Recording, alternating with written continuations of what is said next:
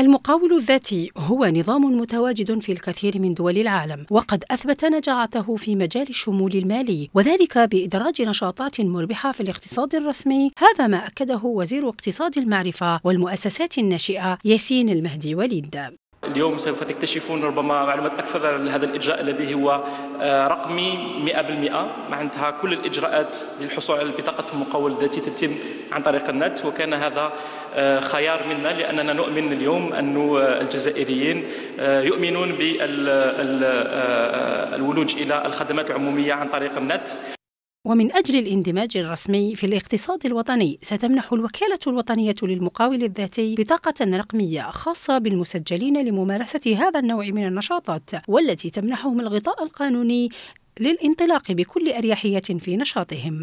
امتيازات عديدة سيتمتع بها المقاول الذاتي، أبرزها ضمان التغطية الاجتماعية من طرف الصندوق الوطني للضمان الاجتماعي للعمال الغير الأجراء، تحديد أقل نسبة للضريبة الجزافية. كل هذه الامتيازات أقرتها الدولة الجزائرية لتشجيع المقاول الذاتي.